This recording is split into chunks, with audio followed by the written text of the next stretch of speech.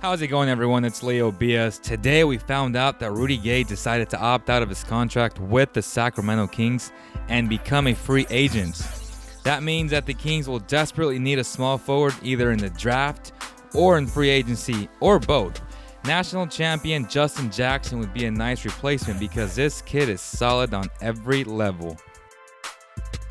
Let's take a look at his much improved jump shot. In his first two years, he was fine deferring shots and leadership to older players such as Marcus Paige and Brice Johnson. But in year three, he worked extremely hard on this craft and really became a good shooter from beyond the arc. He went from averaging 10 points a game his freshman year, 12 points his sophomore year, and 18 points his junior year. That's a guy who takes pride on both ends and after going through the NBA draft combine process after year two, he went back to school and really honed his skills for the next level. It definitely showed as he led his team to the national championship.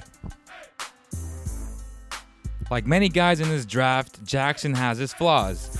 He's going to need to put on some weight to have an immediate impact on the defensive end, as he only weighs 193 pounds according to Draft Express.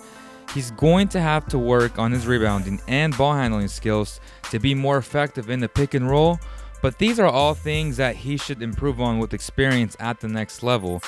He won't wow you with anything in particular, but everything he does is solid. The Kings need solid players, and any team willing to draft this kid understands that they are getting a mature human being and solid basketball player. I see a lot of Danny Granger in him, and even though Danny was a bit more athletic, I believe Justin is a little bit of a better shooter. With that said, what does Justin remind you of? Would you draft Justin Jackson in the top 10? Let us know why or why not. We want to give a shout out to Valley Tire Center. Make sure to download the Valley Tire Center mobile app, register, and turn on your notifications to get free tire balancing. If you guys enjoyed this video, share it with your fellow NBA fans, and give it a thumbs up. Thank you guys so much for your support.